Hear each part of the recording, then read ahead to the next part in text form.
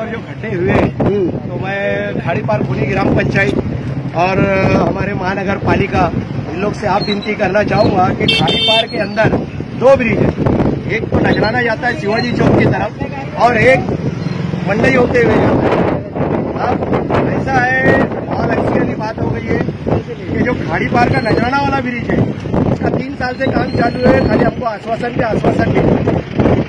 आश्वासन पे आश्वासन मिल रहा है, लेकिन काम अभी तक हो नहीं रहा है। दूसरा जो मंडई जाने वाला ब्रिज है, उसकी हालत देख चुके हैं आप लोग, कितनी पत्थर हो चुकी है। रोज हम लोग कुछ ना कुछ पत्थर रख रहे, कुछ रख रहे, कुछ रख रहे।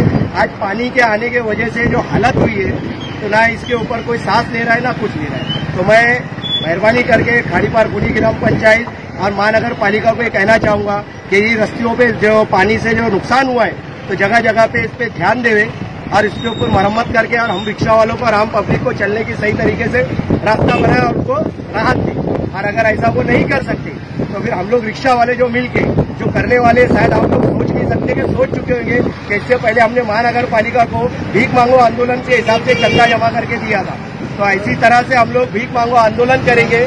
अगर खाड़ी पार खुनी ग्राम पंचायत और महानगर पालिका यहाँ रस्ते की हालत नहीं ब्रिज को नहीं चालू करवाई और ये पुल चालू नहीं सही करवाई तो हम लोग खाड़ी पार के जितने भी रिक्शा वाले हैं, ये सब भीख मांगो, आंदोलन करेंगे, चंदा जमा करेंगे, और हम चंदा जमा करके हमारा ब्रिज खुद हम बना लेंगे, हमारा रास्ता हम खुद ठीक कर लेंगे।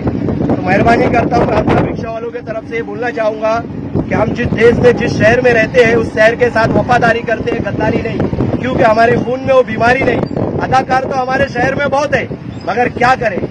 हम में वो अदाकारी नहीं। जय हिंद, जय महाराष्ट्र सब